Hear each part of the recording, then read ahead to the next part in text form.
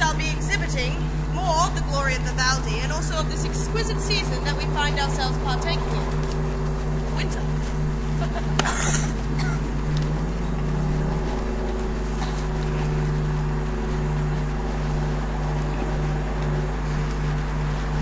Uh, to go with uh, Vivaldi's Winter, there are a few extracts of poetry. Um, I will say a verse before each movement.